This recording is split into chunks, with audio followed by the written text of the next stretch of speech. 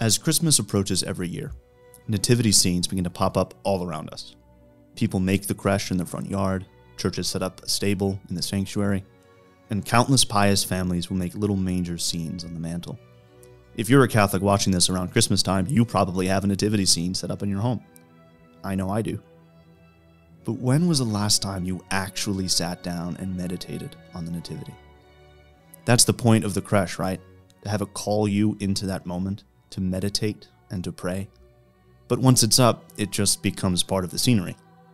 I know I've overlooked that creche many times, no matter how many times I pass it in my home.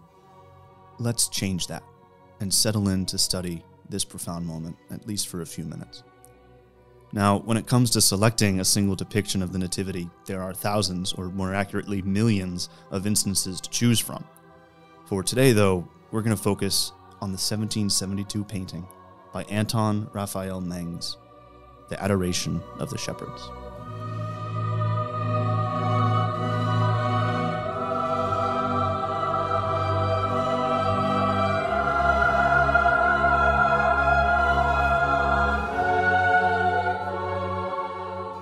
Anton Raphael Mengs was a mid 18th century German painter, but he spent much of his career bouncing between the Catholic patrons in Poland, Rome, and Spain. While in Rome, he converted to Catholicism and eventually worked for the Vatican teaching other artists.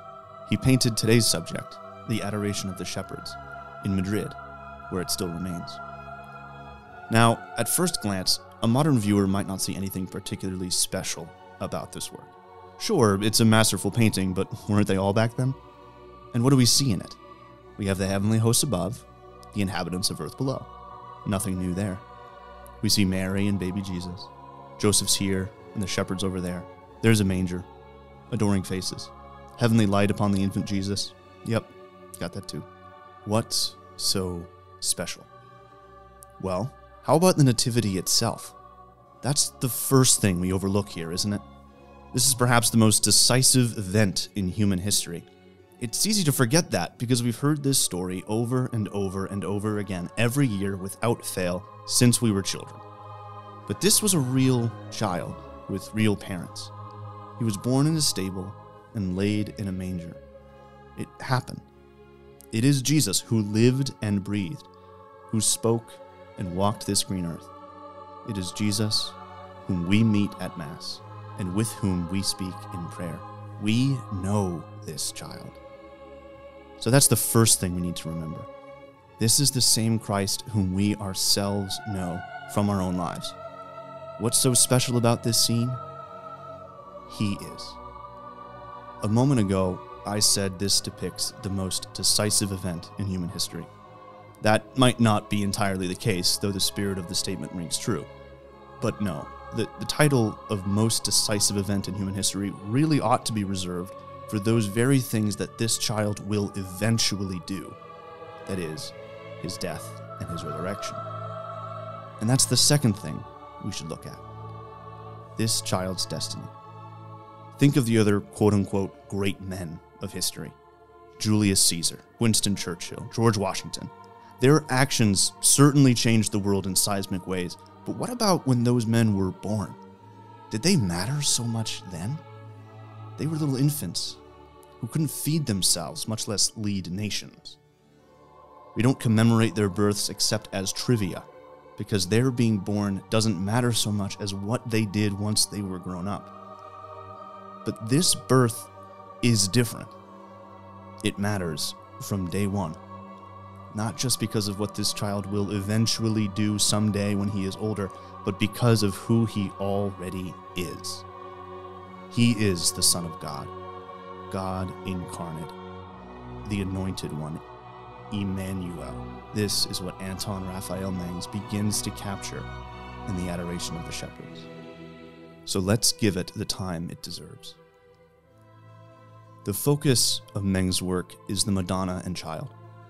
But rather than put them at the center of the panel, Mengs places the most relevant figures in a circle off to one side. This adds a bit of depth to the painting, and it gives him more room on one side to depict the shepherds who are in the foreground.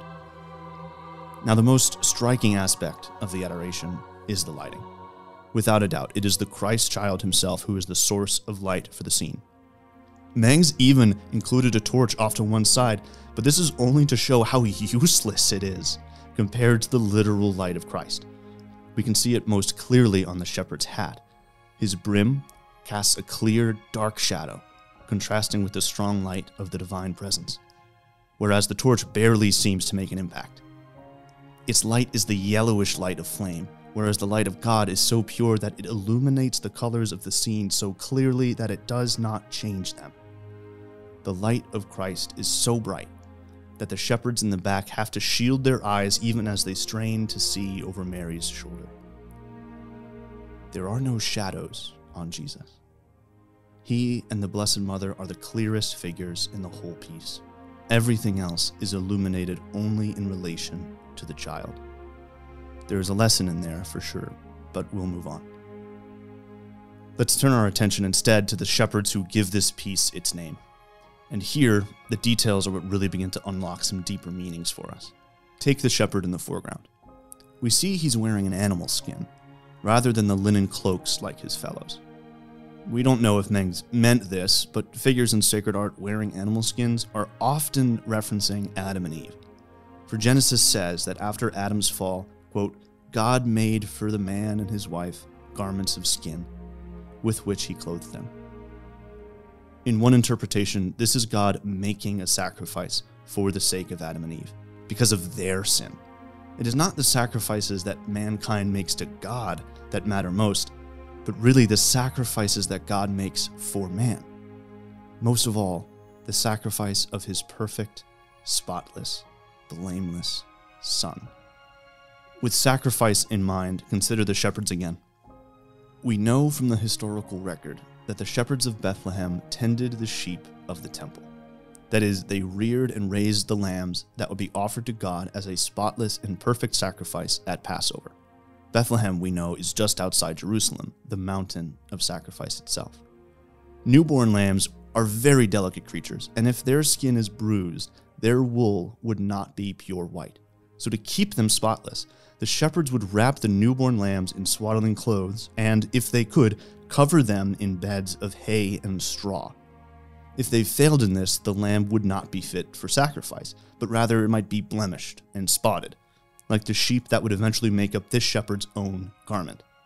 So when the shepherds heard from the angels that they would see the Savior that has been born for you, and then they saw him wrapped in lamb's clothing, one can only imagine what they'd be thinking. One final detail there are three figures in the whole piece whose eyes are not watching in scene, but instead they look directly at the viewer. The first is Christ. He was born into history, but he is not bound by it. He knows us and he lives with us still. Likewise with the angel above, which bears the olive branch of peace. He's an angel, so he's not bound by time. He can look at us and point to Christ, because he sits at the throne of God. But the third figure is off to the extreme left. This is Anton Mengs himself, a self portrait insert. He is standing beside Joseph as silent observer, sitting among the crowd of humanity. But note again the lighting. It suggests he's actually more alike to the angels above him. Now, this isn't a self canonization, he's just saying something about his relationship to the scene. He's not there as a shepherd to adore the Christ child, but as a guide for us. He looks at us and gestures to the scene beyond. Come on in, he says, and look with me. Come and see the God incarnate and the Blessed Virgin. Come and sit with the saints before our Lord. This Christmas season, let's accept his invitation. Whether we see the Nativity in art or on cards or at church, let's not let the ubiquity of this scene rob us of its magnitude. Instead, let's sit for a few quiet moments and adore with the shepherds our glorious Savior.